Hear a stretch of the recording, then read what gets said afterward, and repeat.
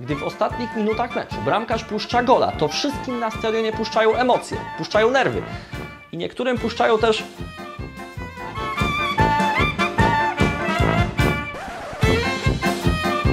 trochę padaka.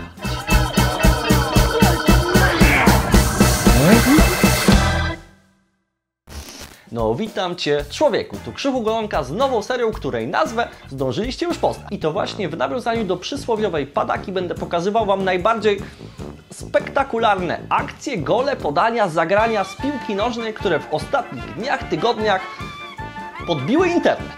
Zaczynamy. Piłka nożna to nie tylko piękne bramki, efektowne zwody, triki, ale to przede wszystkim walka do ostatniej minuty. Przekonał się o tym ostatnio Tottenham, który w ostatnich sekundach meczu przegrał z Liverpoolem. Tak wygląda skrót tego wydarzenia. Oh!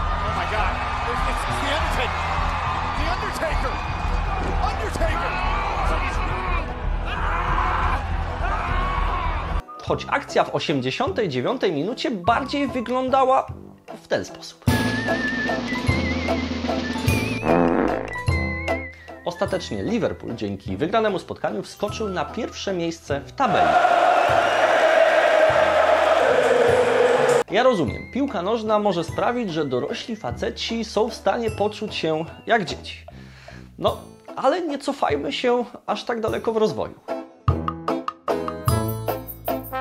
Ale no nie przesadzajmy z tym śmieszkowaniem, bo tak naprawdę nie wiemy, kim był ten człowiek. Może to właśnie ten legendarny grasskeeper z Liverpoolu, który o trawę dba w ten sposób. Być może gdyby trener Adam Nawałka miał taką osobę w Lechu Poznań, to do dziś sprawowałby tam tą zaszczytną funkcję. Trenera, ja wiem, wy też wyczytaliście to w okolicach Prima Aprilis i nie mogliście uwierzyć, że tak szybko Adam Nawałka pożegnał się z drużyną. Kłamie! Podobno sztab Lecha nie do końca nadążał za perfekcjonizmem trenera, bo zdarzało mu się odwołać treningi, kiedy murawa była za bardzo nawodniona lub miała nawet tylko więcej niż 2 mm. Za dużo.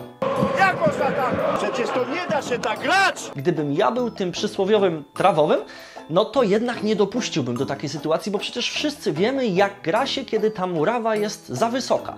Dotyczy to zwłaszcza tych niedzielnych lig.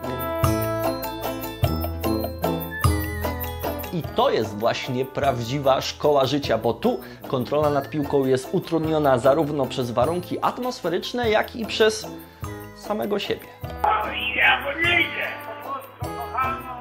Co trochę czasem przypomina wojska naszej ekstraklasy. Zdarza się przecież, że nawet najbardziej wybitni sportowcy są w stanie potknąć się o przysłowiowe źdźbło. Z wody w tym przypadku to wyższa szkoła jazdy i mimo lat praktyki nie do końca wchodzą.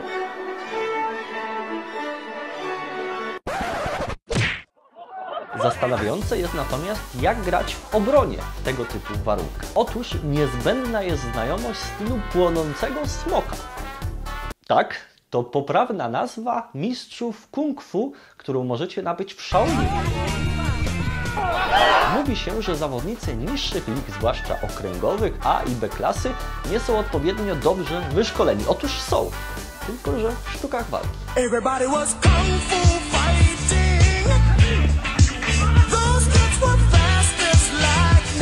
I wracając już do wojsk polskiej ekstraklasy, to jak grom z nieba gruchnęła wiadomość, że inny mistrz sztuk walki, którego nazwisko składa się podobnie z dwóch członów jak Bruce Lee, Sapinto, też pożegnamy.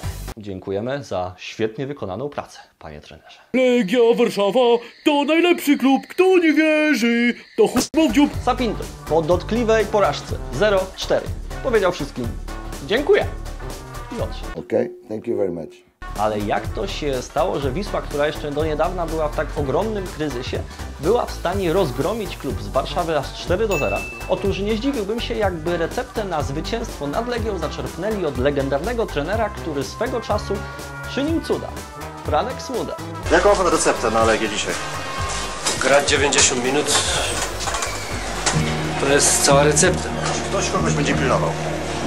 Nie, my nikogo. Musimy wszystkich pilnować. A kto otrzymał jakieś zadanie specjalne? Nikt. tak jak mówi Franz, piłka nożna to prosta gra, w której gra się 90 minut, a zadania specjalne zostawmy oddziałom SWAT, które wiedzą jak rozprawić się z przeciwnikiem. Wisła po wygranej z Legią wciąż ma szansę na bycie w top 4 polskiej ligi, a przecież jeszcze całkiem niedawno ich treningi wyglądały mniej więcej tak, jak mówi autor poprzedniego mema. Tadek, patrz jak oni za... a nie wiedzą, że robią to za darmo. No przecież wiemy, że Franz odpowiedź znał na wszystko. Czy to na hymn Euro 2012, czy to, co Peszko robił swego czasu w taksówce, czy ile alkoholu wypił Artur Borys. No, ale odpowiedzi, jak awansować z Górnikiem Łęczna z drugiej ligi do pierwszej, chyba już nie uzyskane. Drugoligowy klub ogłosił właśnie zakończenie współpracy z Franciszkiem Smudą, choć plany były naprawdę wielkie. Wiadomo, że nie walczymy o mistrzostwo, a walczymy o spad. No, bo Górnik Łęczna zajmuje w tej chwili miejsce szóste w tabeli i jak widać do spadku daleko. Plan nie został wykonany. Co? Atmosfera wśród polskich trenerów jest jednak teraz zgoła inna. Już jest teraz inna niż ta atmosfera, niż ta atmosfera e, przed, przed tym pierwszym meczem. Jak widać, początek wiosny to czas zmian. Dla trenerów Nawałka, Sapinto, Smuda, ale mam nadzieję, że panowie się tym zbytnio nie przejmujecie. Nie, wszystko jest ok. Wali jakąś lufę i przejdziemy wszystko. I tym miłym akcentem kończymy na dziś pierwszy odcinek przysłowiowej Padaki na kanale Trenuj z Krzychem. Jeżeli chcecie zobaczyć kolejne odcinki, podoba Wam się ten format, zostawcie naprawdę dużo łapek w górę i wspierajcie mój kanał przyciskając czerwony przycisk z napisem subskrybuj. A mam nadzieję, że po zmianach trenerskich Polska Ekstraklasa zacznie grać tak. żeby każdy kibic schodził z boisk, e, ze stadionu i był zadowolony. Trzymajcie się, cześć!